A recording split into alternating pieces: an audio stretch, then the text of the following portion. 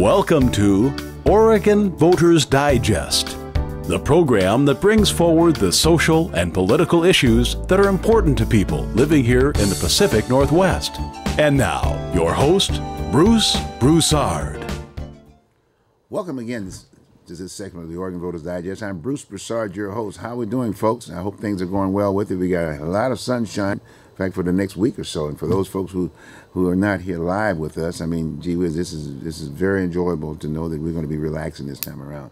But as you know, we just got off the, the primary campaign trail. I was part of that whole process. I met a lot of folks, and uh, we talked about issues and whatever. And uh, in all due respect, I felt really good about it. Um, the response we got, we got a 13% or better in that aspect. And uh, and we were able to put some of the issues out. Unfortunately, the media didn't do their job. You know, they didn't they didn't recognize the fact that I did have this cap on, this Vietnam cap on, that I was a veteran, and I did had a, a T-shirt with my business on. I'm a businessman mm-hmm. aspect of it. I took my hat off at one point in time and said I'm a senior citizen. so, but the bottom line, they just didn't recognize that.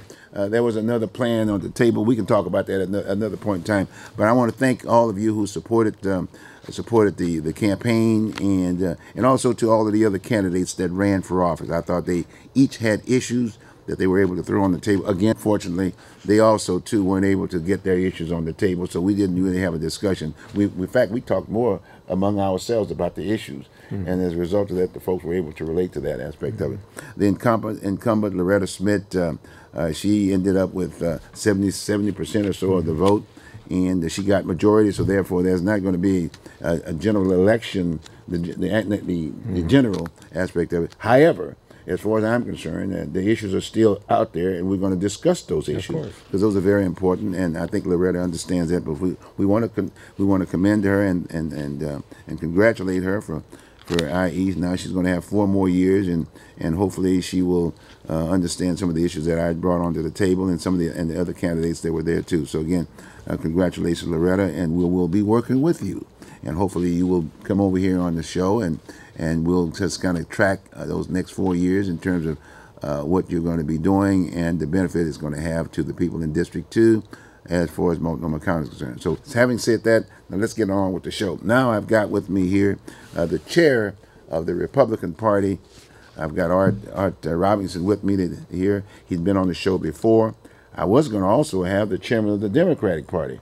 Unfortunately, I can't find the guy. I don't well, know where the guy is. He's pretty scarce when I'm around. Yeah, well, is that right? well, Bob is out there tracking him. I mean, he's he's out there looking for him. He's checking him out, and he said to me, Bruce, he's he's on the trail, and and hopefully we're going to get him to come out here, get the chair of the Democratic Party to be also part of the process. I think it's very very important because this is a very important race at this point in time. Mm-hmm. Uh, citizens are wanting to know what's going on and what each of the entities, the, the major parties are uh, basically what's that platform and what's that plan for Oregon. Mm-hmm. We got some we've got some major issues that are that we are faced with at this point in time, and I think it's very very important that we at least discuss because at the end of the day, at the end of the day, it's the vote. Mm-hmm. You're gonna get you're gonna get your mail you're gonna get your mail out, and you're gonna select someone. You're gonna select the issues, the issues that are gonna affect your pocketbook, your kids' education, your surroundings, and on and on and on. Okay, with that, so that's where we are. So Art, welcome, welcome. Thank you you know and what we want to do this time around i'd like to spend a little bit more time if you can just sort of reflect if you will uh, what do you think about the primary and uh, what do you think? Well I'm, I'm happy with the primary. We, we have a lot of great candidates that were selected. We have some great candidates that weren't selected. Okay. and uh, i think the republicans will do very well in these elections. It's our job to I, I believe and i think there's ample evidence that two-thirds of the people of oregon or more share republican values more than they share Democrat values.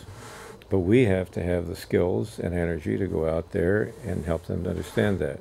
So it's our job to make the people realize mm-hmm. that we care about them, that we want to help them, and that the things we stand for will help them. Mm-hmm. That's our job. And even though our values are much closer to Oregonian values, if we don't, if we don't articulate that, the people won't know. Right. How so now we have five months to do that. Yeah. How would you define those values? And, You know, as, as you as you're saying. Well, our values are are um, things like closer. Let's nothing's perfect, right? right, right we have right, a platform. they have a platform, but we our values are far closer to those that are built into every human being. the values of liberty, freedom, uh, independence, uh, private property, all these things, uh, we can talk about them individually. But the value, fundamental values of, are, are, are, timeless. They're thousands of years old. Uh, they were first in our literature. We know in ancient times these things took place. In the Bible, they were articulated very, very well, of course, by our Creator. And then the founders of our country, in our Constitution and Bill of Rights, articulated them for our country. And now they flow down to us. But the Republican Party stands largely for timeless values that are built into every human being. In other words, if you have a person, he thinks, but he also feels. He feels viscerally. If you're talking to an American and you're talking Republican principles, he will intuitively respond more positively than he will to the principles that Democrats advocate if you're communicating correctly. So our principles are more the timeless principles that are built into human beings. And we know from our Bibles, from our Constitution, from the great people that we've had to give us the freedom we have, we know that those are the best ways for people to live together. Mm-hmm, mm-hmm. People don't live together well when they have a big government telling them everything to do and making slaves of them. Mm-hmm. I mean, we oppose slavery. We knocked, got slavery out of our mm-hmm, country. Mm-hmm. And yet now we got a system where half the kids that graduate from college are already enslaved to debt. Mm-hmm. That's, that's not good. Now that doesn't, they're caught, you know, the schools have gotten too expensive. Largely they've gotten too expensive because of government meddling.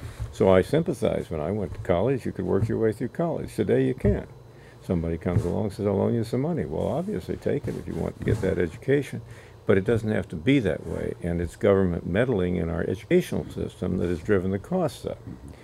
And this we see throughout our society where people become enslaved. They become enslaved to debt, they become enslaved in all sorts of ways because of government overreach. Mm-hmm. People in Washington, even to some extent people in Salem, trying to tell them how to live their lives and taking the resources of the American people and distributing in such a way that they can control how people live their lives.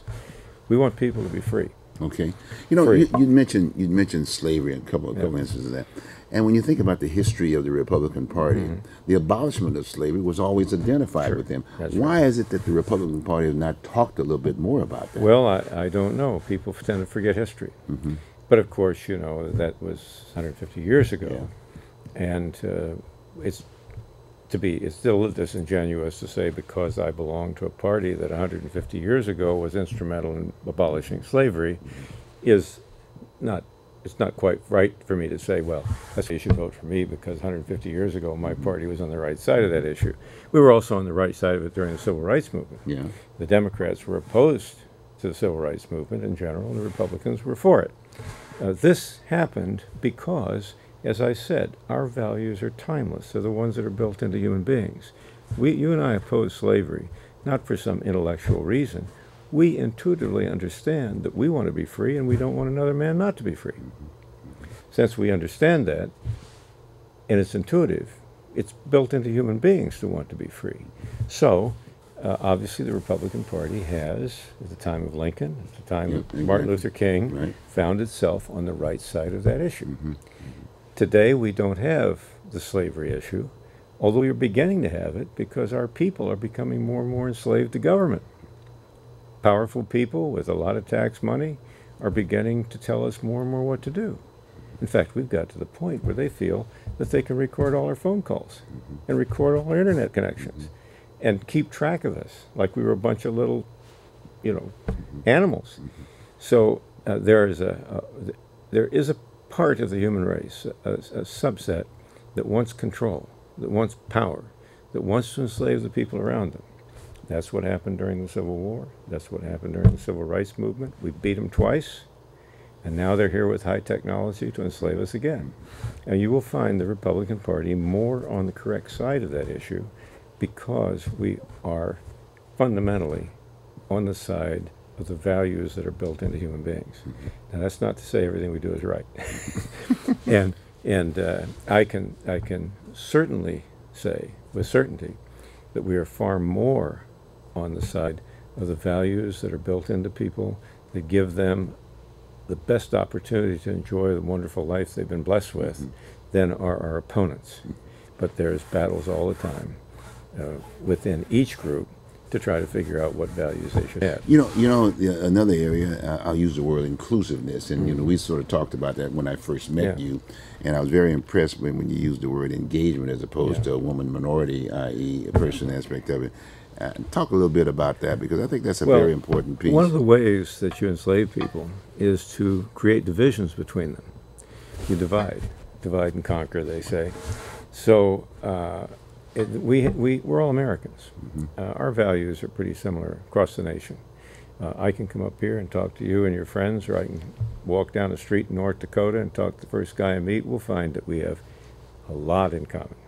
So American values are pretty consistent throughout our country. But those who wish to control us divide us, and they find any division they can. They got skin color, they got they even try to divide us by sex almost. Uh, these divisions, where you represent that there's the Hispanic community and the African American community and the white community and the Asian community, these divisions that they emphasize help to enslave us because they teach us that we're different from one another, and we're not. So to when you come, say, to Multnomah County and you're talking to men and women of the African American community, you're talking to Americans. The, the, the, we're all the same. We have about the, we have the same intellectual capabilities. We have the same physical capabilities. We're all people. And I, I think, and you agree, you and I decided we were going to use the words that divide us. Uh, we want to engage all Americans. There are Americans here, there are Americans down south, there are Americans everywhere. We all speak the same language. And when we speak a language that emphasizes these artificial divisions, we're helping our enemies because the divisions are one of the things they use to control us. You know, another area that I know that's, that, that people tend to resonate here within this within the metro area aspect of it is the issue of education. There- Uh, parents are very concerned about the Yes. the lack of education I'll within bet. our public schools Yes. and uh, And the various- non-uniformity of education. yes, yes. Across this country, and I've been an educator all my life. I taught at the university, uh, taught chemistry to 300 students every year, and then my family got in the education business, and we've supplied curriculums to about 100,000 American children. Uh, and one of the things that, that uh, worries me greatly is the tremendous difference between the educational opportunities of one area and another area. Uh, in Washington, D.C., the Wall Street Journal reported that 40% of the students in Washington, D.C. don't graduate from high school, and the 60% who do, on average, read at a fifth grade level. Hmm. The schools are awful. Now, it happens that that community is mostly African American. Yet I know there are plenty of definitive studies that show there isn't any difference at all between the abilities in education of a white man and a black man. There's no mm-hmm. difference. Mm-hmm. But here they are. In that society, in that area, and interestingly, it's controlled by the United States Congress because they run D.C. Here we have this terrible uh, lack of opportunity for the students in Washington, D.C. And it shouldn't be that way. Uh, some people say it's economic, but it doesn't have to be. The institutions that collect money for education should spread it evenly throughout the country. So we have tremendous disparities uh, between these subdivisions they've created, and it's it's very harmful because every young American should have the same educational opportunities. One of the reasons that it's this way is a lack of local control. We used to have the best schools in the world. I, I went to school, you know, in the 50s, and, and, and I got a wonderful education in public schools. That got me into Caltech. They taught me science, and I've had a wonderful life in science. I owe it to the public schools. Schools aren't there anymore. At that time, American students scored higher than anyone else in the world academically. Now we are almost at the bottom. And that parallels taking control away from the localities and giving it to the government. The government is dominating. So if the localities, if DC's parents control those schools, they wouldn't permit them to have these problems. But they're controlled by the federal government. And these people, uh, you know, they don't know how to run schools. So we need to get our schools back to local control. If we get back to local control, the parents and the people in the community will make darn sure the students learn. And when America had local control, we had on the frontier everything was locally Yeah, controlled, yeah, yeah. and everybody was literate. We've got 99% literacy on the frontier, and these guys were learning how to read around campfires. With locally local control, our schools would be fine. With federal control, and to some extent state control, they've deteriorated very badly, and we have another step now. We have Common Core. It's just another way of the federal government forcing everyone into the same mold. And when you try to do that with students, it doesn't work. We don't, when, when you make the point about the federal government aspect, and that like it's like these this entity, if you will, that controls all of us aspect of it. You know, this country supposedly was under the minds of, of uh, it was a government of the people, by the people, and for the people, right. and they represented our ideas. What happened to that? Right? Well, what happened is it's simple. Uh, there are, we, we know it's from history, 1000s of years of history, that within every society there is a group of people that thrive on power. They thrive on control. And those people gravitate toward government and they try to make the government control us. This has happened constantly in history. The only reason you and I are free is because the very, very smart men we were very lucky to have, the founding fathers, and they created a constitution and bill of rights that would protect our freedom and keep the government controlling us. Most people don't realize the Constitution is just a list of things the government can't do. they can't hurt you. They can't control you. And because that was done, you and I still live in the greatest country on earth. Uh, but there always is within the society, I don't care whether you're talking about a little organization or a church or a community or a, a nation, there are always some people who thrive on power and control of others. And we need government procedures to protect us from them. Founding fathers gave us a government that protected us from them. But they're always trying, always trying, always trying to get more of our money, trying to get more regulations and taxes. And everything they do is to try to control us more. And that, of course, now is one of the big differences between the Democrat Party and the Republican Party. The Democrat Party is all about control of the people. The Republican Party is about leaving the people in control of their own lives. That's a big difference between the parties now. Well, you know, on that same uh, that same level, one of the things, one of the major ingredients that that many many African Americans have, and also the Hispanics and the like Mm. have, is, a, is the lack, if you will, of inclusion of their varying cultures. Uh, Mm-hmm. normally, in the educational system, when you start thinking about here in the in the in the state of Oregon, Mm-hmm. uh, they had recently, well, not recently, but they had passed, if you will, policy in the legislature that said that they were going to actually get those get the, the they were going to educate it was going to be in the system if you will in terms Mm-hmm. of educating people about their their, their respective cultures Well, that didn't happen Yeah, but, but see that that's What been happened? that's been our in our schools the whole time. Our country is made of immigrants, right? Totally. And as they melded together under American principles to create our nation, they brought their cultures with them. My family, uh, I, the, culture that came, and we came from France and England, the ones that you know my principal forebears, we still have much of the culture that came from those countries. There's no reason why you have to leave your culture behind when you meld together in a free nation. And, uh, and, and, and so we can keep our cultures and we take the best parts of those, especially, and memorialize them. I tell stories about my ancestors that I'm proud of. And it, it reflects the values that they brought from where they came from.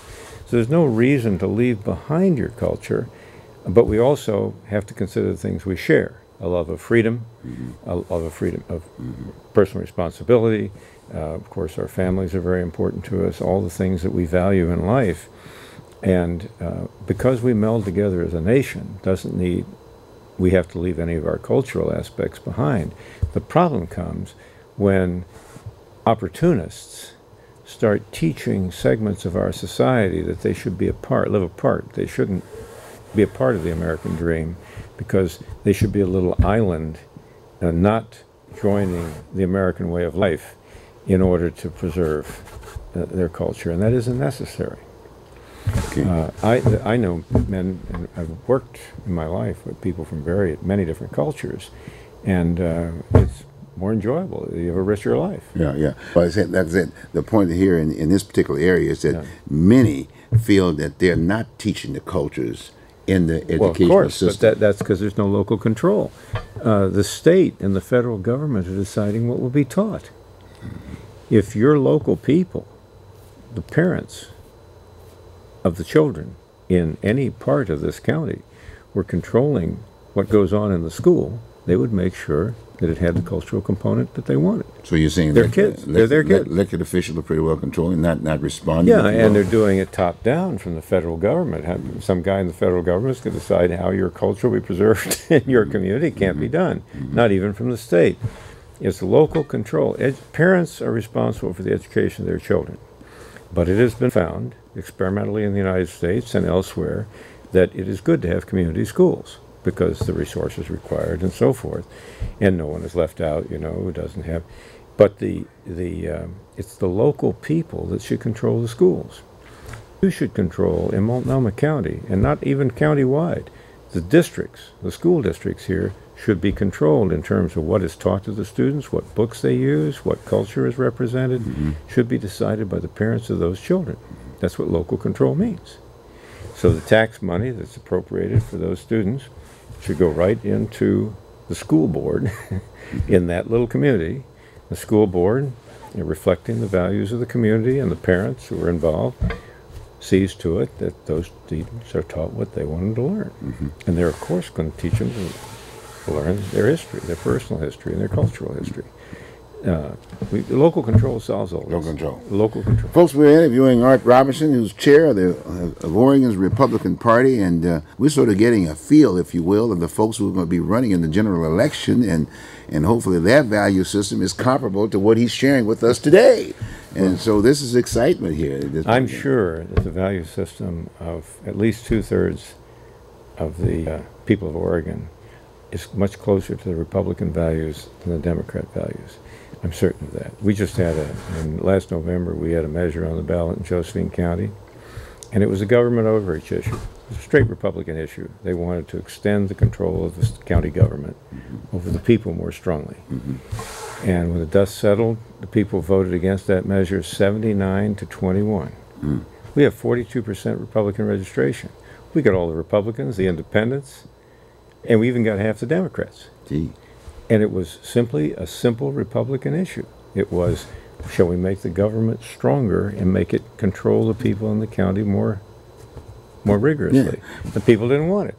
Wow. Look, let, let- in fact, on that particular point, let's share with the with the viewing audience in terms because you're running for office, right? I'm running for Congress. You're running for Congress four. against Peter DeFazio. Peter DeFazio. For the right third there. time. For the third time. okay, let's talk a little bit about that in terms of uh, uh, what, what do you think? What are your chances? Let's talk about that. I think we have a good chance. Okay. I wouldn't uh, ask people to support a campaign and work on it if I didn't think we had a good chance. But this man's been entrenched. He's been there 25 years. He has very This is your deep, third time, right? yeah. Okay. He has very deep roots in the community. He's not been good for the community. Our lumber industry has been destroyed on his watch. And he's done a lot of different things that were not good for our District 4. And he has voted a straight liberal socialist line in Congress, which isn't good for the American people. So he's not good to have him in office. But once they've been in office 25 years, they've got a lot of resources. So uh, we have uh, a far better chance to beat him than he thinks. But that's not for certain. Uh, my view is, well, he's still there and he needs to go, so we'll work on it. Well, and, and from an Oregonian standpoint Yeah. aspect of where, that where you've run, what were some of the issues that you were bringing up on the table that, uh, For Mr. DeFazio? yes, Well, the biggest thing in District 4 is the destruction of our lumber industry. Okay. Uh, he has stood there with his hands in his pockets for 20 years and watched the federal government take away essentially all access to the forests in our region and the mining as well. Uh, District 4 is about the same size as Switzerland and has far more natural resources than Switzerland. But the, in- the income of the people is half that of Switzerland because District 4 is deprived of the use of its natural resources. We can't use the trees and we can't use and we can't use the minerals. Mr. DeFazio has consistently helped to deprive us of those resources. That's one big thing that he has done. And we just, uh, I mean, the last mills are closing. We, the whole industry been destroyed. I've lived there 33 years. I just watched it go down, and I watched a congressman just sit there with his hands in his pocket and smile and let it go down. In fact, sometimes he's thrown in bills to help it go down. That's a big thing. Uh, then, in a more broad sense, a guy never saw a tax he didn't like or regulation he didn't like.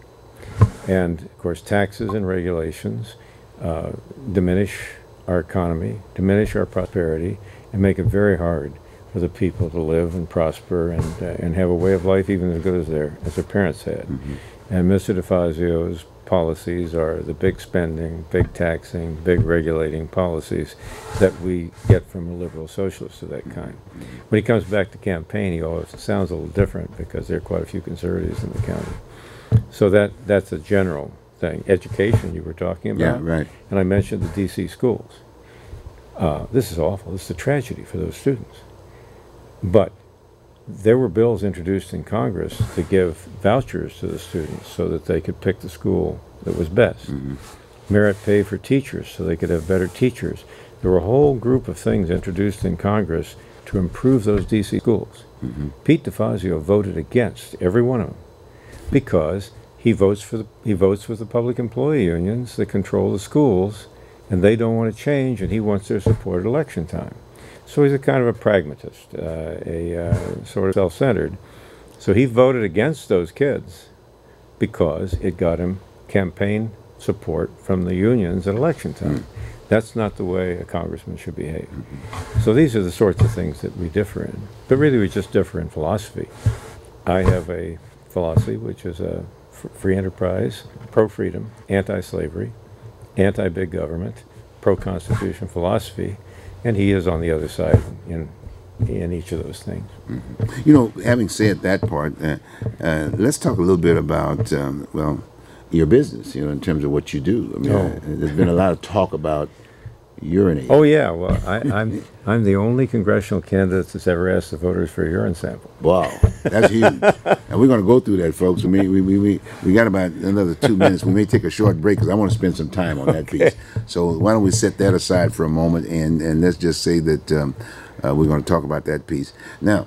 Uh, so what what does what does art bring to the table? You have having, having talked about DeFazios and um, do you bring jobs and things of that nature? Well, those those bring themselves. yes, Uh, people always this good economics has been proved. right. People always produce more than they consume and gain in prosperity if they are free to do so. America was the great example of that. They were free and the country went straight up. There was nothing America couldn't do. Now we're stumbling and the prosperity of our people is going down. The real income of most Americans has been going down for 10 or 15 years. And the reason is freedom is diminished to the point where they can't produce more than they consume. So people in work hard, they produce more than they consume if they're free to do so.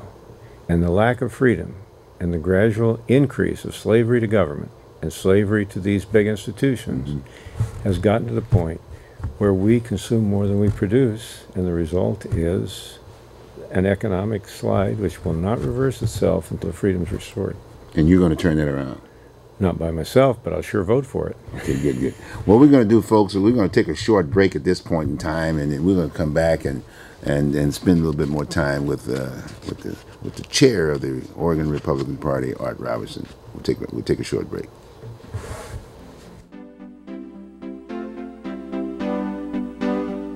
You are watching Oregon Voters Digest. This program can be seen again on these channels on these dates and times. Tell a friend.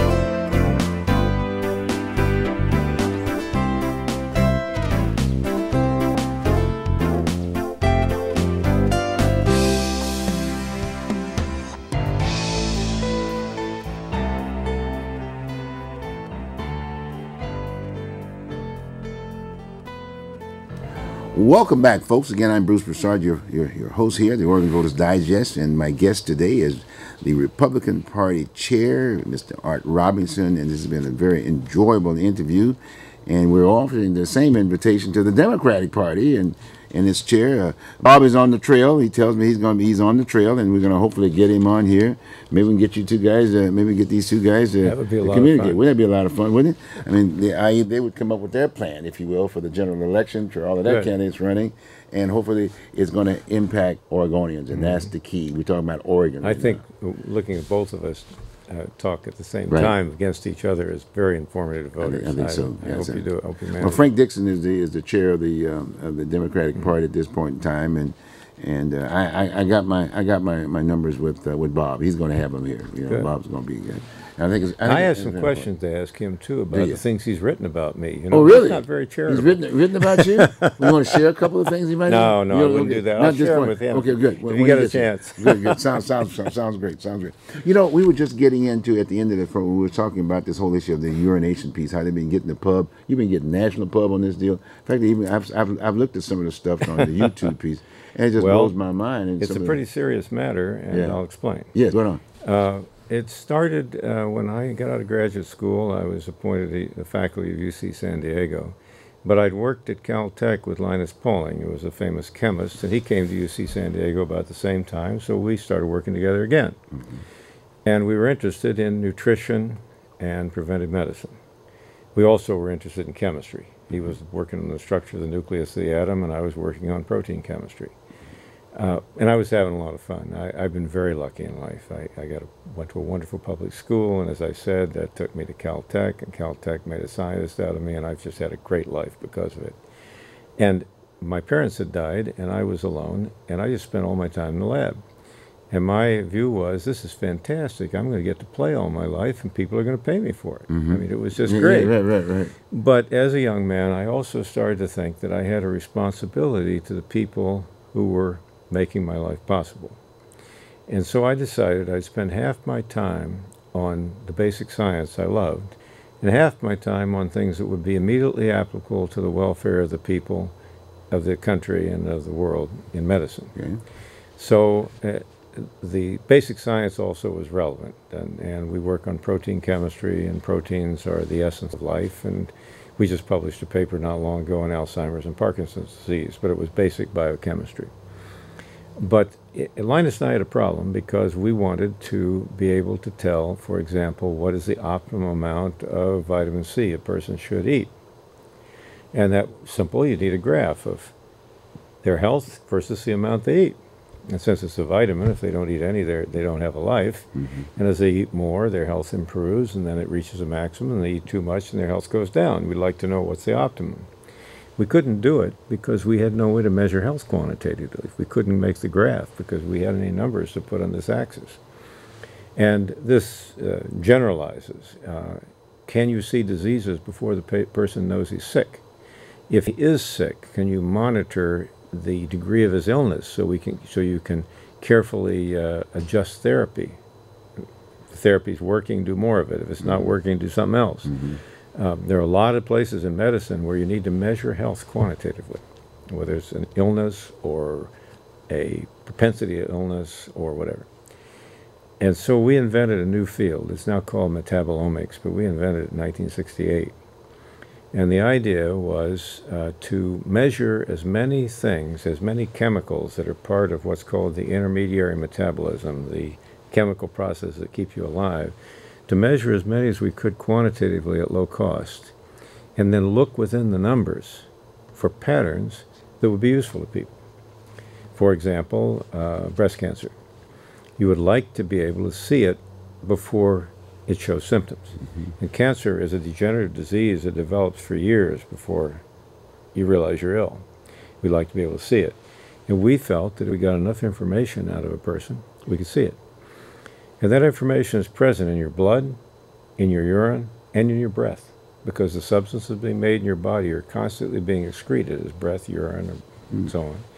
So we started building, we built what was the best analytical lab in the world for studying urine and breath. And we proved that this worked. We were able to measure about 200 things. Took us a couple hours to do that in one sample. And we did it on 15,000 people. And we proved that it was a very, very powerful method. We get 200 numbers, and we look for patterns in the numbers that were indicative of the things that, and these were quantitative because we had exact amounts of all these substances. We've worked on this all these years. Uh, we started the field, and we worked in a lot. Now the technology has advanced to the point where, with the instruments in our laboratory, we can measure 2,000 metabolites in a minute on one three thousandth of an ounce of urine. And this now is so powerful that you could make these measurements for about the cost of Coca Cola. So this would mean that a person's passing through the shopping center and they wonder if their child's in good shape or they're wondering about their own health. They're almost like buying Coca Cola at a pop mm-hmm. machine, find out. Mm-hmm. But the methods are very powerful analytically. 2,000 substances, or what we would call parameters, 2,000 quantitative measurements of chemicals being produced by your body is just virtually everything about your metabolism is known. But you have to calibrate them because we do not know enough about human chemistry, biochemistry to know how much of those things should be there. We can only do it empirically. It's like fingerprints. In fact, it is a fingerprint. I can, if I took a urine sample and measured it for someone, it's just as distinctive as their fingerprint hmm, because of their genetics. So we need to calibrate these tools. So, for example, going back to the breast cancer analysis, in order to calibrate the method so that we could, if the machine can do so, see cancer two years before the lady is afflicted, we have to have samples from people taken two years before they got sick. This means we have to take a lot of samples from women and wait. And after a few develop breast cancer, we'll then, and we wait, we put those samples, store them cryogenically so they don't deteriorate, they're super mm-hmm. cold. And then suppose we got 10 ladies who, who were mis- unfortunate enough to contract the disease. We go back in the freezer and pick up the samples they had two years ago.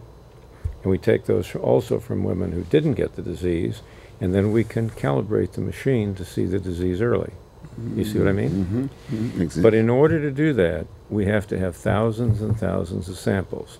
We have to have 15, in our, the goal of our research is to have 15,000 people giving a sample every six months. And then we wait, and some of them are, um, they're valuable immediately. Like you, you want to look at a pattern for a disease just for diagnostic purposes. You get 30 people that have the disease and 30 that don't, compare them and look for a pattern. Uh, but our goal is to have 15,000 people give a sample every six months for five years. And the disease incidence statistics are such that that will calibrate this machinery for practical use uh, on quite a number of illnesses. So, and the other thing is you have to do it uh, in a practical way. And the practical way is to take samples from people without any control. In other words, you don't say, well, we're going to have this controlled study and you're going to live on a controlled diet and we're going to do all mm-hmm. this mumbo jumbo. You could publish a paper, be no good to the guy in the street. Mm-hmm. So we're collecting the samples just from the people. This machine can measure 10,000 things. It's redundant because of the isotope effect, so it measures 5,000 different chemicals in that minute. We estimate about 2,000 are relevant metabolites. So the differences in diet, the differences, other kinds of differences, uh, aren't affecting us because we can see so much. And so we're just asking Oregonians to participate. So we just sent out a mailing telling about our research to some of the Southern Oregon, and we got 7,000 volunteers, and we already had 1,000, that's 8,000. So if we do one more mailing, we'll have our 15,000. Hmm, interesting, interesting. And once they, they, they send their name and address in, and we send them a kit which has two cryogenic vials, and they give us about a milliliter of urine in each vial. Comes back, we store it in minus 80 degree freezers, so it, it's permanently stored. And uh, we're going to ask them every six months. So uh, we're very pleased because this mailing we just did brought in 7,000 volunteers, Oregonians who are willing to participate. It's uh, not like biochemistry where you're studying something, you understand it very carefully and so forth. But if you want to help human beings, you have to help them as they are. I could say to you, well, uh, give us a lot of money for research. And about a hundred years from now, we'll know enough that we might be able to diagnose a disease just because we understand. but the things we don't understand, uh, that's not going to help you. Right, right, right, right, right. But if we can calibrate what we can see about you with modern technology, then we can improve your health now. Are there other entities out there doing this this kind of a research? Well, there, yeah, it's a whole research field now. I was Oh, asked a couple of years ago to write the first chapter in a book about this because we originated the field and tell about our early work. It's now a, a sta- standard field of science, but it has not helped people. And the reason is this kind of calibration work that we're engaged in now mm-hmm. hasn't been done. People will they'll get a few samples from somebody with an illness and a few controls that don't have the illness, and they compare them and publish in the literature. Mm. Well, that makes a nice publication, but it isn't practical. You haven't done enough that it could find its way into modern medicine. Mm-hmm. You have to calibrate in a large population and do the kind of things we're doing before it could be offered as a medical technique. Mm. So it's much more powerful. You go to the doctor today, he'll measure about 20 things in a blood sample or 10 in a urine sample. And they don't even look for a pattern. They just look at them ing- ingly to see if one of them is way out of the normal range. There's another aspect to this. When you get serial samples on a person, then you evaluate him on the basis using himself as his control. Then all the genetic differences go away, and you can see even far more about him. Mm-hmm. In other words, suppose we see a pattern that's characteristic of you, mm-hmm. and we would, mm-hmm. and then we see it every six months. After we have four or five points on you, if you deviate from that pattern, we'll be able to see that 10 times as well because we're comparing you to yourself, not to the whole population, which is quite different, quite variable. So this job, uh, seems a little mundane, but this job of getting what we call just casual urine samples, just no control, just get a sample and send it to us, and then calibrating this extremely powerful machinery in its efforts to get information out can help a lot. Now maybe it's an unfortunate time to do this because we're all worried about all the spying on us, Yeah, right? right, right, right. So we don't like the idea that the government's collecting all this information. And those are issues that have to be concerned, we have to be concerned. In our case, uh, this is totally confidential, nothing, uh, no aspect of this is ever in a computer that's even hooked to the internet. So the people's privacy is maintained, but anything the government can learn about you. You see, in private medical care, I feel comfortable about it. Right now, they're socializing medicine. The Obama administration wants to have everybody's medical records on computers that they can look at. That, I think, is very dangerous. And a lot of people wouldn't want their urine analysis on a computer that Mr. Obama could look at. Mm-hmm. You understand? Mm-hmm. So that's another reason to emphasize freedom, because this government spying, you, without privacy, you have no freedom. Privacy is essential to freedom. Mm-hmm. And we're in a national debate now because the government's violating our privacy. Well, the more information you get about someone's health, like through urine analysis and eventually be breath analysis, the more you can do for their health. Mm-hmm.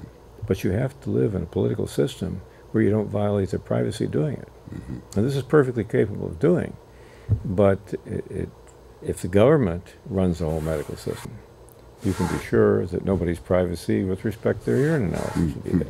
Well, you know what comes to mind, you know, from uh, you know, from that just as a layperson aspect of it, the thing that comes out with, with, with some of the cultures are things like um, uh, lupus, Mm-hmm. uh, sickle cell, things along that line.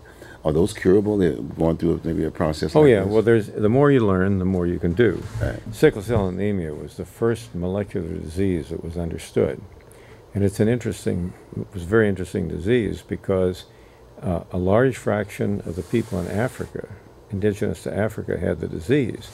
And the reason they had it, uh, if you have with both genes for sickle cell, you have you have the disease if you know you have two of everything genetically, and if you have both, you have sickle cell anemia.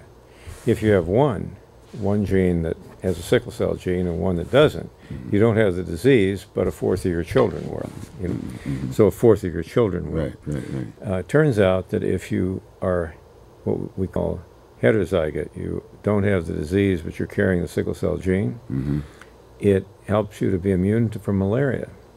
And malaria is so endemic to Africa that the disadvantage of having the disease in the population was overcome by the extra survival because it made you immune from malaria.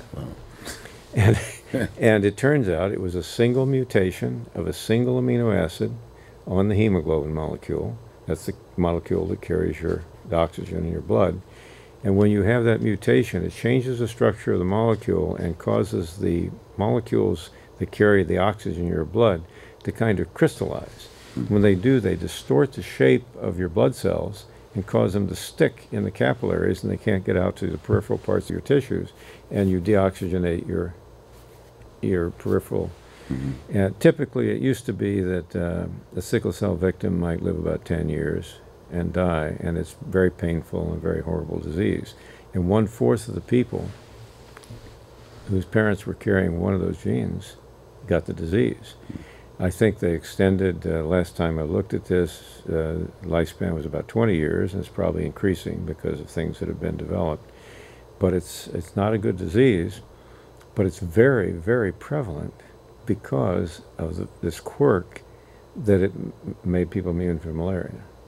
Malaria, you see, kills millions and millions Yes. of people every year. It doesn't have to, but the environmental movement has banned the insecticides that were stopping it.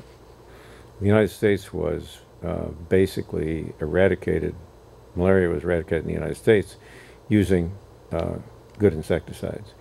Uh, and they were beginning to eradicate it in Africa and other countries with insecticides. And then a bunch of elitist enviros came along and said, well, you can't use those insecticides. So malaria shot right back up in the third world. But um, I had a friend, uh, I published a paper once, he was the chief physician for Albert Schweitzer in Africa. And he said that when he was a physician running Schweitzer's hospital, everybody had malaria. The patients, the doctors, the nurses, everybody. and it was a little different. So the advantage uh, against malaria made sickle cell, kept sickle cell in the population. Uh, it was the first molecular disease. A man named Harvey Itano discovered this. It was published. Itano, Pauling, Singer, and Wells published a paper showing why sickle cell anemia occurs and that it's a mutation of one amino acid. It was a great event in biochemistry because it was the first disease of a molecule that was ever uh, discovered.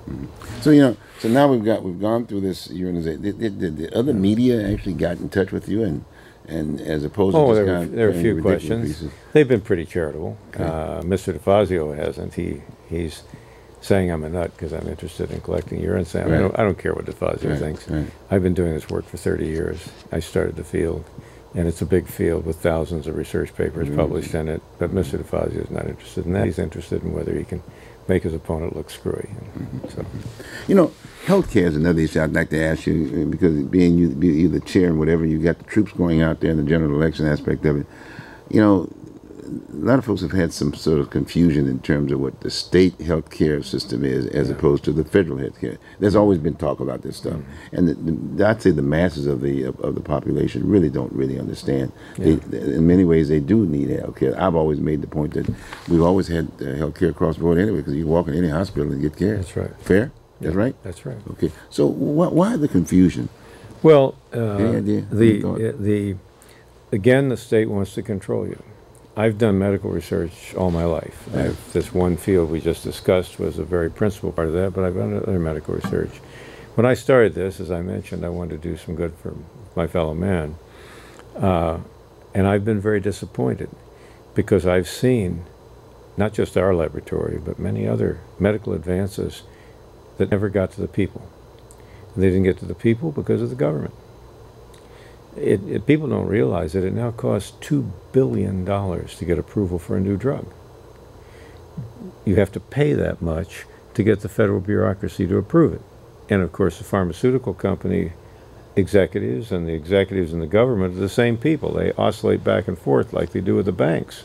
So there's this, this medical monopoly controlled by people at the top mm-hmm. And unless there's a huge amount of money on the table that can be taken away from the people in the medical care system, and they can get their fingers on it, they won't let it in. And a lot of the things you can do, especially in nutrition and preventive medicine, don't cost much. So, for example, if we were to find that a disease responds to vitamin B6, I mean, there's no way you can patent vitamin B6. Mm-hmm. There's no money in it. Mm. And if you were to just advertise that B6 cured the disease, it's going to cost you a couple of billion dollars to get permission to advertise. So that's not worked on. Uh, this thing we're talking about, I told you that uh, might be possible to provide uh, preventive medicine with these 2,000 sample analysis, uh, substance analyses for, for the cost of a Coke. Yeah, but how? It, might, it would cost you billions to get permission to do the analysis. See, we're doing this experimentally, but if we were to start to give people back information about their health from our experiments, they'd put us in jail. Hmm. We'd be practicing medicine without a license and using an unapproved procedure Wow. to give information to people about their health, and that's against the law. Hmm. So there are tremendous impediments to the advance of medicine that have been put in. First, it's 18% of our economy, huge amounts of money. Two thirds of that money doesn't even go to the doctors, it goes to the bureaucrats. When you go to the doctor, what do you see? Well, several women shuffling paper. Right. And the doctor's back behind trying to make enough money to pay everybody. Right. And those people are shuffling paper because the government makes them do so. So medicine has become very, very expensive because of government meddling. This is before Obamacare. Right. Right. Right. And the system that they've put in makes it cost enormous amounts of money to make even the tiniest advance. I worked with a man who had a Nobel Prize in chemistry, a very famous man, one of the people I was fortunate to work with. This man published 60 papers on a new antibiotic, which would be far better than the antibiotics we have. Never been commercialized. He put it all in the public domain, and no patents. Gee. The accountants for the company would say, well, we could produce that thing, but it costs us $2 billion to get it approved. We never get our money back. So the, the uh, people don't realize how much the advance of medicine has been impeded by government meddling already. And of course, now to go to full-blown socialized medicine is just a nightmare. It's, it's terrible. And I spent 50 years in medical research, and we've done some nice things. We've made some contributions. We've published a lot of nice papers. This one field we were talking about, we're prominent in that field. But mostly, I'm looking at things that people should have that they don't have. It always comes back to this giant monopoly that's run by the government and the pharmaceutical companies and the medical societies have all got a hand in it. And there's 18% of the wealth of the American people flowing through that monopoly. And the price of entry for a new medical procedure is so high that most of the new discoveries don't make it. Hmm, hmm. It's, it's not good. That's interesting. Okay, now in another area, we got about another four minutes or so. I, that educational background that you shared with me at, mm-hmm. at one point in time, I thought I think that would be of some of, of interest in because we still, like I said, that ed- educate. As you know, the governor is now the new education czar. I don't know where I don't know where um, uh, if in fact if uh, Richardson would be given no, no, no, no, Dennis Dennis was get, would given the opportunity to be governor. What, his, what would his position be? Would he go back to the old system? You think, or Well, I would hope. Dennis Richardson's a very fine man. Right, and right. Oregon would be very fortunate to have him. And his instincts, I can't speak for him. And I don't want to get him into trouble by Yeah. making a comment about what he would do. Right. But I think uh, everybody uh, that's knowledgeable about this realizes we need to go back to local control. Mm-hmm. And this thing about the governor running the schools in our coun- in our state is ridiculous Mm-hmm. and is harmful. And I, I think that uh, I don't know what Dennis's first step would be because you see, you're here and you want to be here. If a man will go 10% of the way, you're 10% of the way. And how far Dennis would try to go if he were governor, I don't Yeah, know. yeah. But I know he's a very fine man with very good instincts and a great love of human freedom and the American way of life. Mm-hmm. So I'm, I'm sure that he would take steps in the right direction, but I don't know what steps he thinks he could take in, mm-hmm. in his first term of office. Well, as you, as you know, there's another race that's going to be look, really looked at, and that's uh, in, the, in the arena. That's that's Monica Wehby. And uh, any any thoughts about. Well, that's that? a lot She's pretty simpler in local. education. Okay, good. because the United States Constitution, 10th Amendment of the United States Constitution, makes it unconstitutional for the federal government to meddle in education. I'm running as a federal candidate as well. It's pretty simple. I oppose federal involvement in education. The money the federal government is getting now that's going into education should immediately come back to the states. Mm-hmm. Because under the Constitution, education is a responsibility of the states and the people. Mm-hmm. I'm not suggesting resources be diminished, but not a dollar should be being spent by Washington. Mm-hmm. The money they're collecting that's going into education today should all come to the states and in my business, in my view, be distributed to localities. But the states are allowed constitutionally to be involved in education. The 10th Amendment says any power not given to the government in the Constitution is reserved to the states and the people. That includes education. So I haven't talked to Monica about it, but I would assume that she would feel that the Constitution means that all the control of education should come back to the states, and that's what I advocate. You know, another issue that from uh, in this, this area is, kind of interesting uh, about the marijuana push, if you will, by uh, by i.e. the Congressman uh, Earl Blumenauer, who basically represents this area, but really did, a lot of times in terms of getting involved in the other issues, eh, we, we've had pro- problems Yeah. trying to get him involved. And, and- But he's taken this this, this this this lead role, if you will, of This- pushing the marijuana. This is going to be very what- interesting. that's what- what This think? is going to be a great exercise in federalism. This, too, the power over marijuana, for example, is reserved to the states. We're going to have 50 states trying 50 different things, and we're going to find out what works. And Oregon will have a policy, Texas will have a policy, Oklahoma will have a policy. That's the way federalism works. Right, right. And we can all look at each other, and probably one of these states is going to get it right. Then we'll know what the policy should be. That's great. That's great. Well, look, we got about thirty seconds left. Any any lasting comments? All right. All right. Yeah, vote Republican. Okay. All right. Boy, that was that was No. right down the line. Listen, if you really look closely, you'll find each voter would find that the Republican policies are closer to what he intuitively understands are good for him and good for his family. And I think that uh, if they look closely at this, they'll vote for us. Good. And we've got some great candidates to carry in those carry those policies into into action. Well, thank you very much. And then the other lasting comment. Hopefully, you'll be available to come and give us a little update. Oh, I Yeah, love to come, and of course, this debate if you can ever get that Democrat chairman across the table, I'll be I'll be here with bells on. All right. On that note, all right. Thank you very much. This has been great. This has Thank been great. All right, folks. There you go. He- He's the, Republic, the Republican chair of the Republican Party, Art Robinson. Okay, fine. Mr. A. Frank, come on over, buddy. We, we were looking for you, waiting for you. Oregon, Oregonians wants to know where you are and where you oh, stand Oh, on those issues. Okay, fine. You might have to get a bigger room. Oh no, maybe you should. hey, folks. Thank you very much. I'll see you next week. Have a good one. Take care.